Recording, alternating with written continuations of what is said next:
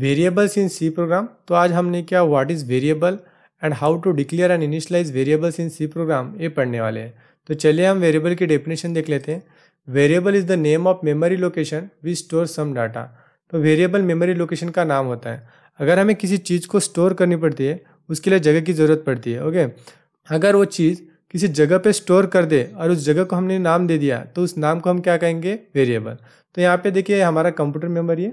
Okay? और इस computer memory में छोटे छोटे ब्लॉक्स है। ब्लॉक्स भी कह सकते हैं और कंटेनर भी।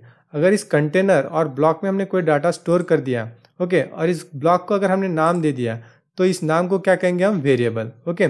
तो चलिए मैं यहाँ पे विजुअल स्टूडियो ओपन कर लेता हूँ और आपको नहीं क्या वेरिएबल कैसे डिक्लेयर करते हैं, ये शो कर देता हूँ, ओके? तो यहाँ पे हमने नहीं क्या क्या ओपन कर लिया है? विजुअल स्टूडियो ओपन कर लिया है। तो मैं यहाँ पे क्या कर लेता हूँ? फ़ाइल एक्सप्लोर कर लेता हूँ और मैं यहाँ पे फ़ाइल क्रिएट करता हूँ और फ़ाइल नेम देता हूँ that is test dot C okay और सेव कर लेता हूँ। तो यहाँ पे जो हमारा फ़ाइल एक्सप्लोर हुआ है, उसको मिनिमाइज कर लेता हूँ।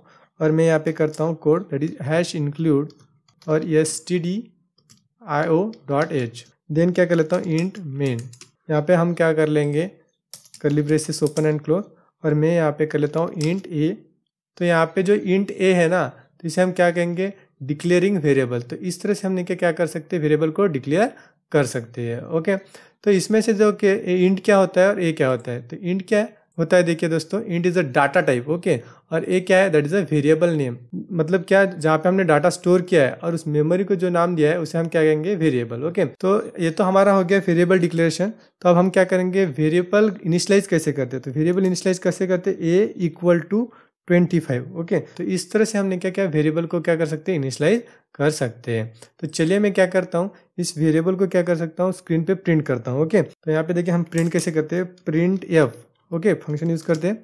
देन डबल कोड यहाँ पे हम करेंगे परसेंट डी ओके और यहाँ पे हम करेंगे that is a comma and then हमने जो वेरिएबल है, वो वेरिएबल यहाँ पे ले लेंगे ओके एंड देन यहाँ पे सेमी कोलन यहाँ पे परसेंट डी क्या होता है दोस्तों फॉर्मेट स्पेसिफायर होता है ओके ये हम बाद में देखेंगे।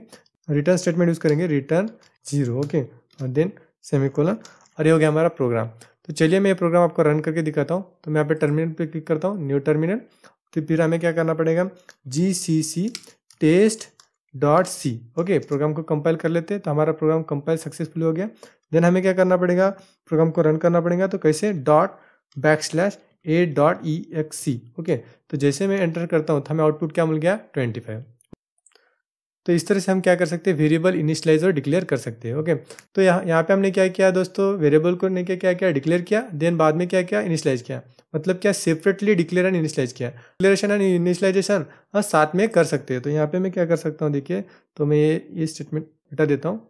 A equal to twenty five कर दे तो यहाँ पे नहीं क्या हमने सिंगल लाइन में नहीं क्या declaring and initialising variable together किया है। मतलब एक साथ ही नहीं क्या डिक्लेयरिंग एंड इनिशलाइजिंग वेरिएबल किया है ओके ठीक है तो अगर इसे हम प्रिंट करें तो सेम ही आंसर आएगा। तो मैं यहाँ पे आपको प्रोग्राम कंपाइल पाइल और रन करके दिखाता हूँ ओके तो ये प्रोग्राम है, मैं इसको सेव कर लेता हूँ और रन करता हूँ। तो मैं यहाँ पे टर्मिनल ओपन कर लेता हूँ न्यू टर्मिनल तो प्रोग्राम को कंपाइल कर लेते हैं G C C test dot C okay run कैसे करते हैं? Dot back slash a dot E X C okay तो यहाँ पे देखिए हमें आउटपुट स्टिल ट्वेंटी फाइव मिला। मतलब क्या हमने क्या वेरिएबल को हर सिंगल लाइन में डिक्लेयर एंड इनिशलाइज कर सकते हैं ओके तो और देखिए we can change the value of variable हमने क्या वेरिएबल की वैल्यू चेंज कर सकते तो चलिए हम कैसे वैल्यू चेंज करते हैं, देखते हैं।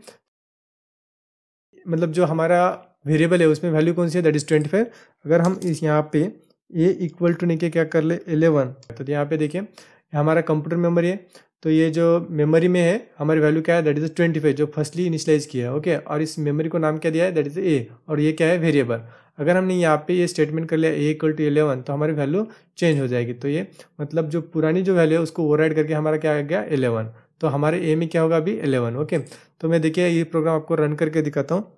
टर्मिनल न्यू टर्मिनल और मैं यहाँ पे क्या कर लेता हूँ कमांड प्रोवाइड करता हूँ for compilation G C C test dot C okay तो यहाँ प्रोग्राम सक्सेसफुली कंपाइल हो गया। देन मैं इस प्रोग्राम को रन कर लेता हूँ dot back slash a dot E X C और देखिए यहाँ पे हमें आउटपुट क्या मिल गया? एलेवन मतलब क्या? हमने क्या? जो वेरिएबल की वैल्यू है, हम कभी भी चेंज कर सकते हैं okay we can also reuse it multiple times हम वेरिएबल को एनी नंबर ऑफ़ टाइम्स नहीं क्या प्रोग्राम में यूज़ कर सकते हैं ओके तो इस तरह से हमने क्या वेरिएबल क्या होता है और वेरिएबल कैसे डिक्लेयर करते हैं और नहीं क्या इनिशलाइज कैसे करते हैं और नहीं क्या वेरिएबल डिक्लेरेशन इनिशलाइजेशन टुगेदर कैसा होता है तो इस वीडियो में हमने देखा। और थैंक यू सो मच